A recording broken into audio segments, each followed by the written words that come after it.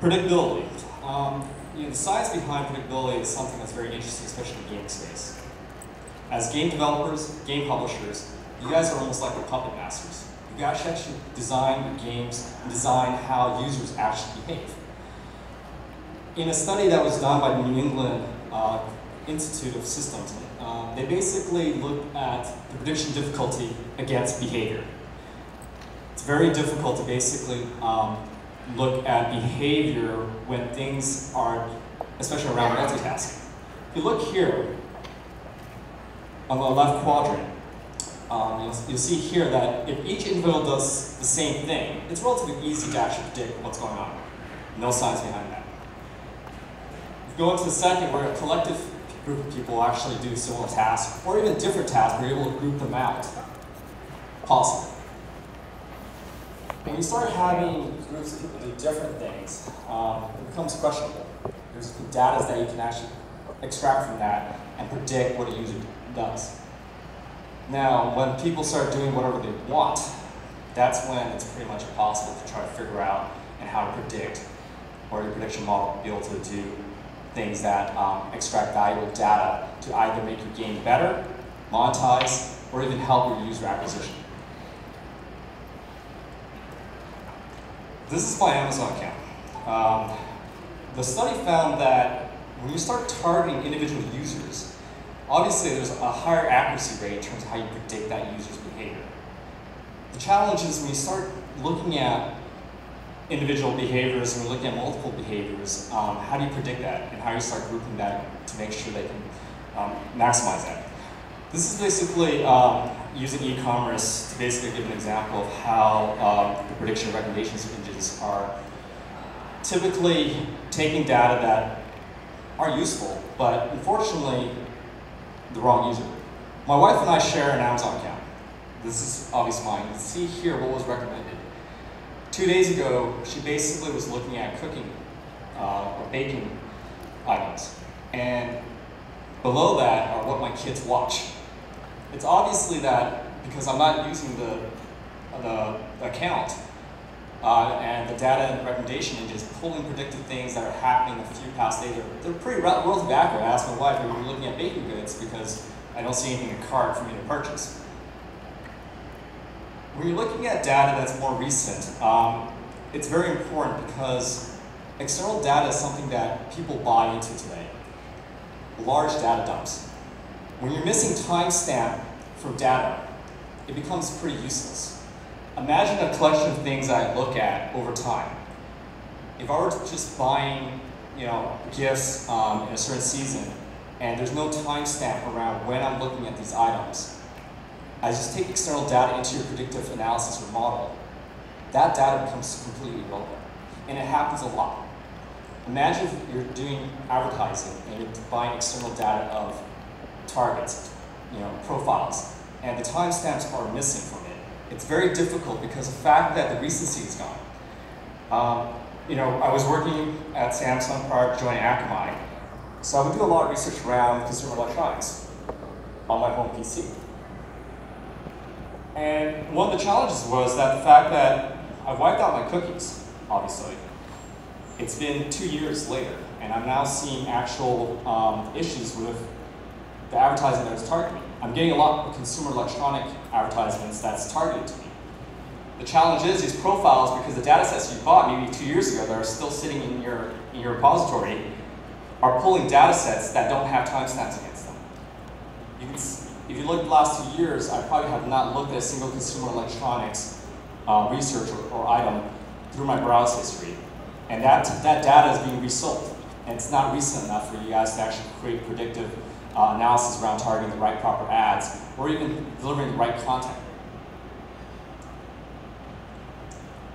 Another challenge that's happening around why predictive analysis from external sources is going to be important is the fact that in network conditions, we're having issues globally, worldwide, with bandwidth. ITU did a study around what's happening. We're getting faster connectivity globally, but the challenge is there's not enough bandwidth. With these issues happening, especially with devices growing, the number of devices have outgrown the human population. which is going to allow you to start thinking whether or not your game design for connectivity is something that you have to think about and redesigning things to have offline capabilities. You're two or three years away from this. We all know in the gaming space, you're going to have to kind of reap the benefits now. And I'm bringing up the issue around external data sources around network conditions for your gaming. When you're trying to predict what's happening with a user, what's happening in the game state, you have your network connection state where if things aren't working, things are connected, the user's not able to connect to your game, you're able to, you're able to get that data back, correct? But the challenge is, if you're looking at external data sources, if you're not looking at external data sources, you're not, you're not realizing that the connection speed has issues. And factoring that into your game development is going to be important on trying to make your user a little more sticky environments like in Southeast Asia. Player-centric approach. In a player-centric approach, there's two things that you look at, entertaining and uh, uh, empathizing. The entertainment aspect is ensuring that your users, your players, have the best experience possible. Second is empathizing. Why are users getting frustrated? Is your game too hard? You know, are, are things in, are your games too challenging? Are there things in your games, you know, too boring, too repetitive? What if the user is getting disconnected every time they're playing? The third thing we should be looking at is environment. That environment factor is that external data source I'm talking about to help with your prediction model. Slow mobile actually frustrates people, right? Slow connections to mobile connection, that's a given. But there's data out there that's going to allow you to be able to take into to, to, uh, you know, effect what do you need to do to make your game work better? And, and especially in states when, they're, when, when you're in subways where connectivity is spotty with mobile connectivity. Having offline mode, having pre-positioning of things that whether you're ad supported or a, a freemium based model or even a paid, what are things you can do to have content for your customers or your players to work with when things are not working? I don't know if you guys experienced this before, but I sure do. When I'm in the subway, disconnection happens relatively often in certain areas of, even in Singapore. Uh, games are multiplayer, obviously connection is utmost important. That's your gameplay, right? Being able to do multiplayer um, battles. But there are things that you can probably do around there because there's monetization avenues that you need to think about in offline. Um, I know that in Philippines, um, a lot of game companies do look at offline. I, I, we used to outsource games from Viacom in the Philippines.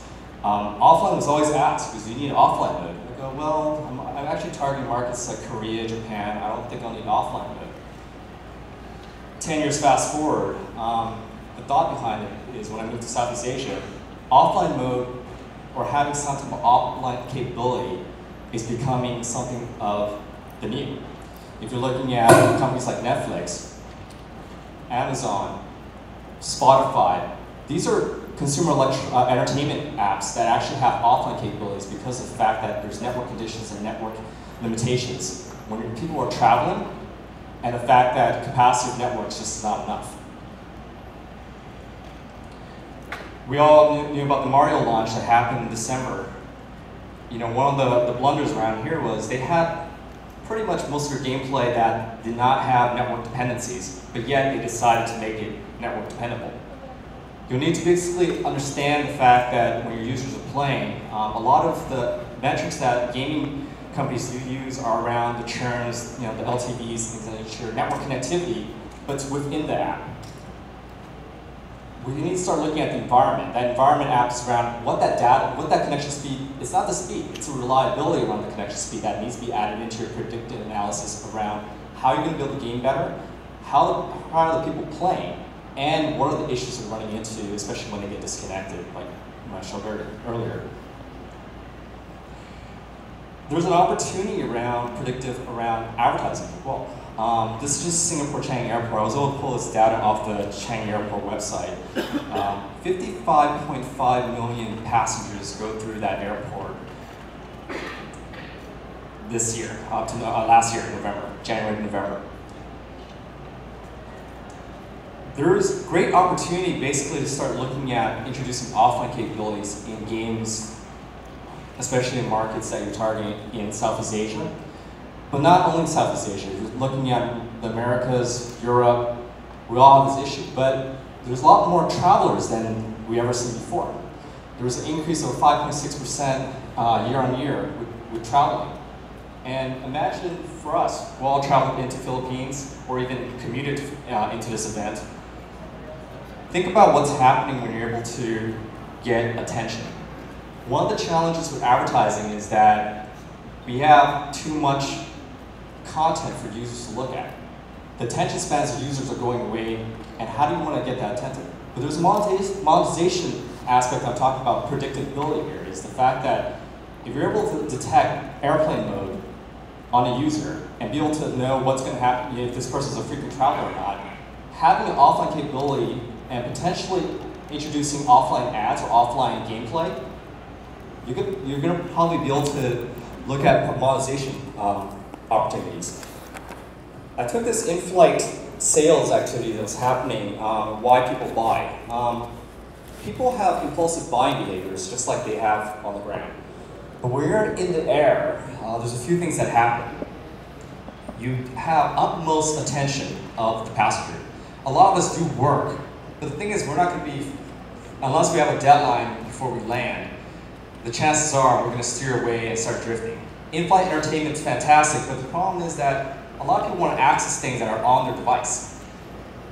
A few behaviors that happen on the plane. One, boredom.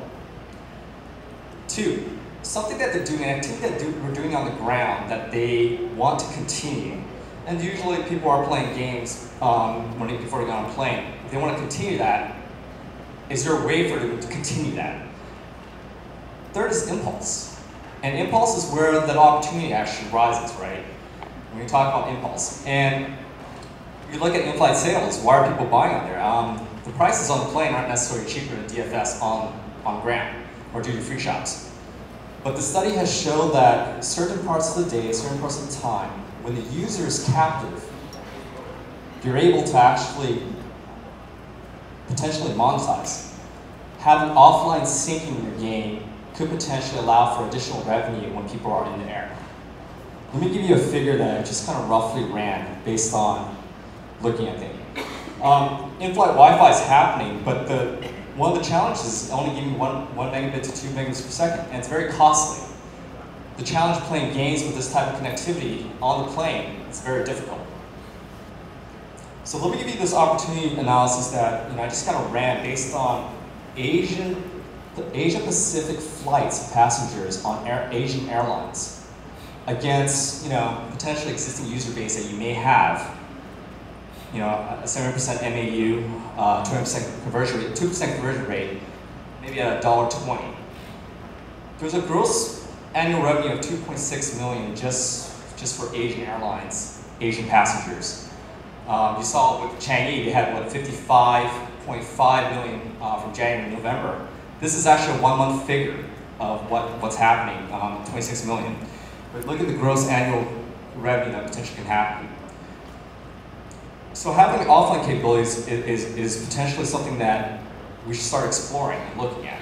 And especially with the global capacity issue, you know, faster connection doesn't mean a reliable connection. And what about in-game ads? There's technology today that allows you to basically pre-position content on devices, just like something like Netflix. With user profile data that's in your app already, you can potentially pull ads into the devices um, when someone goes offline, or have them stored on a weekly basis when they're charging or on Wi-Fi connectivity. There's a few things that you're doing here for players. Data is not cheap, especially in Southeast Asia. We, we, we hear it all the time. It's also expensive for different classes of people in, in different countries. With in-game advertising opportunities to be added uh, for offline, you can do one of two things. You could basically get more relevant ads and also brand impact for, for your advertisers. There are studies that have shown that when you have someone attentive and and interacting with your ads, the chances for recall is much higher. And if you're able to get their attention, um, especially with the interaction, you get 3x recall. If there's no call to action because you're in offline mode, brand advertising tends to work relatively well. Um, I'm not sure if you guys fly Singapore Air much or any of the airlines that have advertising. Singapore Air 777, um, their interface or interaction between the airplane system forces you to watch still images as you click through to get to your content. As much as I hate the advertising on planes, my interaction with that ad has imprinted Park Royal Hotel. I've never heard of that hotel ever, but that Park Royal Hotel stuck in my head. And this, I, I do fly off and I do see that ad pretty often. The fact that they're offline and, and interacting with that ad, the, the recall rate is quite high. And having it also offline reduces the, the data charges that they would have when they're actually on commute, in flight, or anywhere where they have to be offline. If you look here, um, TechNation does study around the data costs and how much it costs in the emerging markets uh, for an hourly wage worker to be able to afford data. So from the Philippines, let's look at here. The, um, based on 2015, the figures was roughly about one gigabyte of data would be about seven dollars and ten cent. Right, um, and if you look at the number of hours they would have to work at minimum wage at 69 cents, it would be ten dollars, 10 hours and 17 minutes in order for them to pay for one gig of data. Now, obviously when you have ad-supported games, having offline ads adds two, two things. If you're able to pre-position advertising over Wi-Fi, you're reducing the cost of that being that content being stored. And now can be refreshed on a daily basis. If people are going to the office and they have Wi-Fi in office, you're going to be putting maybe two or three ads that are relevant to them, which they can actually access without going back to ad server and syncing the ad, ad uh, logic you know, when connectivity is a little more stable or even on Wi-Fi. And here you see the survey around here uh, around data packaging pricing being one of the, uh, the top reasons why um, people are either switching network or trying to explore for better ways to get um, uh, better pricing versus the network. Here in Philippines, price uh, primary issue in terms of um, the packages that are available in the market. Uh, this is a study done by Deloitte. So pre-position of content. Um, talked about external environments, talked about how that predictive analysis can be done back to your predictive model. A lot of mistakes are made around predictive models that you take something that's going, that you know that's going to happen, and you dump it back into predictive model. When you take predictive, uh, when you take data that's known and you dump back to a model, you're not doing justice in terms of how you're predicting. The rationale behind that is predict what the user's going to do versus what they've done already, right? Or what they're going to do. The rationale behind that is you're building AI around the predictive data that's going to run some of the different assumptions, recommendations that you push to your players or users you're not going to get the most accurate model because the fact that your predictive engine is going to break because you're putting data sets in that know. Preposition content is a concept of the fact that you're actually placing content that they're likely going to watch. You have this character over here dreaming about Games of Thrones, the next game level that they potentially sports scores. What they're trying to fetch is over the evening time when you have stable connection whether you're in an office space and don't have broadband connectivity at home, you're taking advantage of stable connectivity to push content to the end user. You're not just pushing the content of what's happening. Um, obviously, you have your consumer data app within your game and what they're doing. But it's all also adding a layer of what's happening in the environment. And what I mean by environment is what's that connectivity state? How often this person hit spotty Wi-Fi spots or spotty mobile spots. Those are things that you're basically determining adding in there to determine what you're prepositioning. Are you prepositioning or caching the entire content piece? No. It could be a piecemeal. It could be one level. It could be a live event a, a, new game event that you might be running that's just a portion of that that's pushed to the user. Uh, that could be potentially accessed both offline and online, um, intermediary or interchangeably. Or it could be a video. Um, if talk about advertising, if, if you want to put the whole advertising on there, um, obviously the experience would be fantastic. But um, in terms of like longer clip videos, it might be just the first 20 seconds. So that, that's a concept of pre-positioning. And the predictive nature of the fact that you're able to take content and, and feed it through and predict whether or not they're going to use it. It's not a guarantee that they're going to access this content, but when they do access this content, the player experience will be pretty seamless. Just give you a case study that happened. Um, miners in Australia basically work weeks and months um, underground. A company in Australia came to us for some help on figuring out how to get content to these miners. Now, this content, this, this company that provides um, basically internet connectivity to a, to a certain limit connects back by satellite um, from the surface back down, I think probably twice a day in terms of fetching content. And the content is then put into a storage below underground where the miners are staying or during, during the resting time. We use predictive analysis around what the miners you know, on the devices are doing to capture that. And we didn't actually pre-position any content the first two to three weeks. What we did was collected the behavior around what was happening with the miners and what they were accessing. Aggregating that, looking at the network conditions, basically they were pulling from you know, one location right above surface and figuring out what point of time we actually can deliver content to the miners. And you see here um, the predictive nature around is that we have to collect enough data and timestamp them to look at the relevancy of the content that we push down to them. Um, the two top contents that were being watched were video contents and news. It was very difficult to get real-time news to them, but we were able to get at least the daily news to the miners.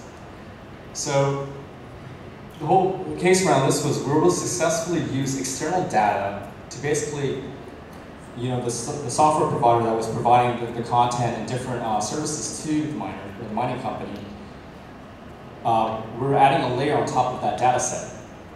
And, and we're able to basically provide better mapping of what the type of content that we're getting uh, uh, to the miners. And it's ironic, irony behind this because there's several industries um, to date that basically don't have network connect connectivity. Um, obviously, this is the extreme case. If you're thinking about Southeast Asia, markets like Indonesia, Vietnam, as well as um, you know in parts of the Philippines, you, you, having an offline mode with predictive capabilities is going to help you be able to provide great player experience. So I'll leave the floor open for any questions. Um, time? Good with time? I'll take any questions around um, external data sets, network environment um, in a little greater detail, um, either outside or I can take some questions now.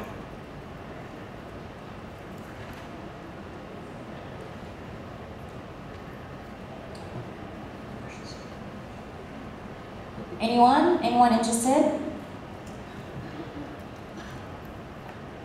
So, for folks that don't know what Akamai does, I obviously didn't go the traditional route introducing what we do as a company. Akamai basically is a content delivery network. Um, we work with you know, 28 of the top 30 publishers providing downloads of updates, patches, as well as our game downloads for PC environments.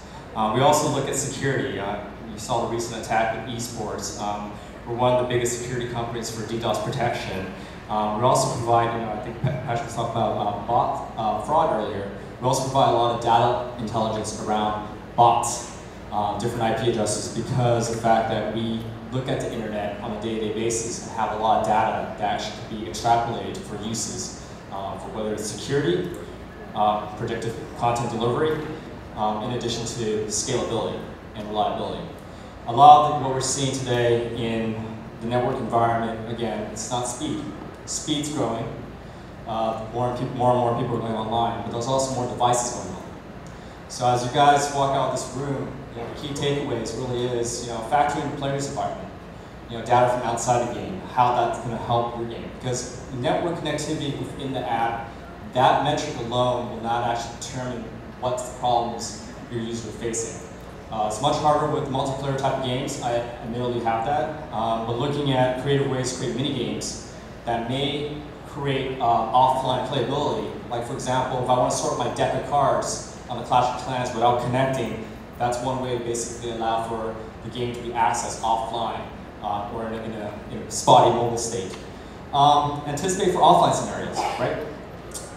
Uh, lastly is design for content prepositioning. Um, when you start looking at content you know, Apple has their on-resource demand, um, on-demand resource, sorry, on-demand resource capabilities that allows you to basically break your games into different levels, determine what content to be delivered.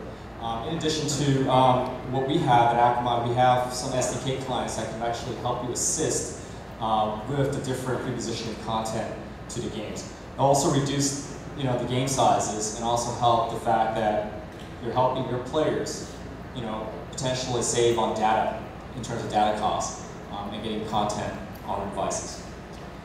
All right, I'll let you guys ponder a little bit, and thank you, and hope, you know, have a great lunch. All right, thank you very much.